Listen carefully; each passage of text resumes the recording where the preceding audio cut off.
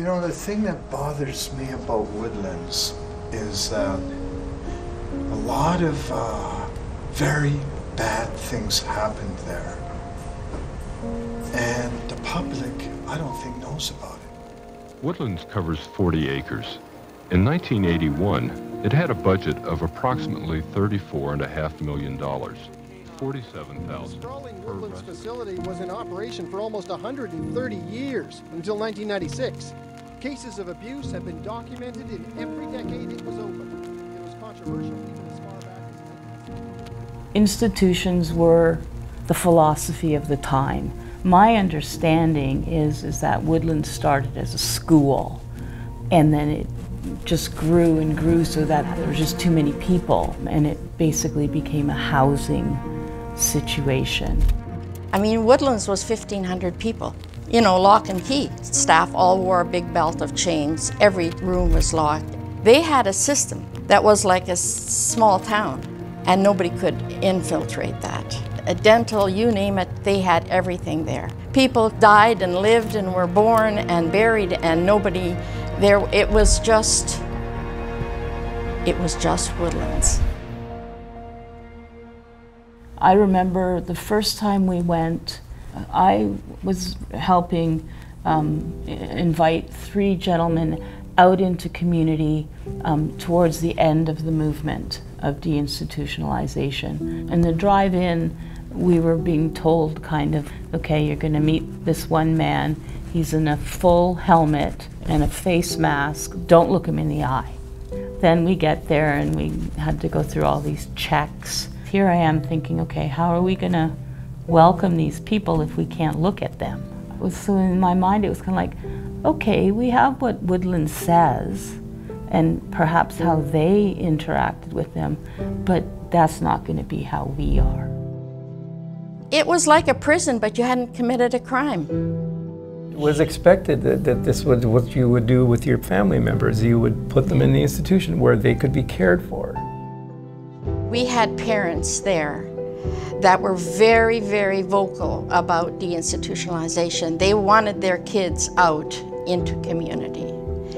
And we, uh, we thought, yeah, we can, we can do this. I mean, we didn't really know what we were doing so much either. but we had a good value base, and we believed in the concept of deinstitutionalization. And so we, we went for it.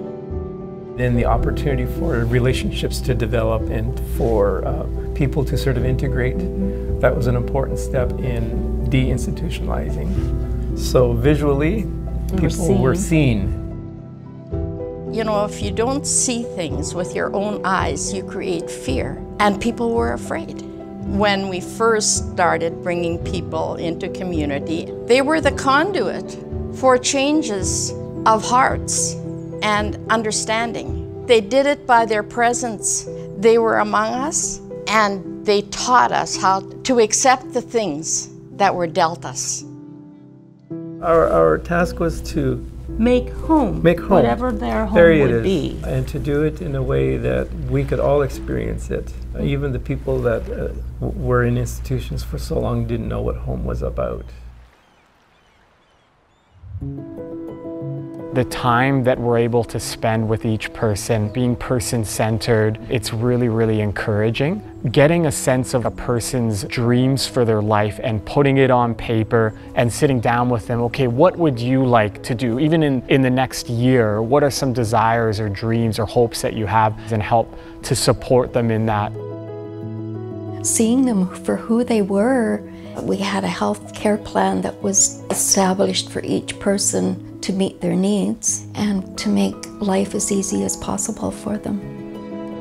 In 10 years, I think we developed eight homes and purpose built from the ground up. The commitment that we could voice to families that we were going to be there for the long haul. And here we are 50 years later, still doing, still committed. Things have changed, but fundamentally, the philosophy remains, the value system remains.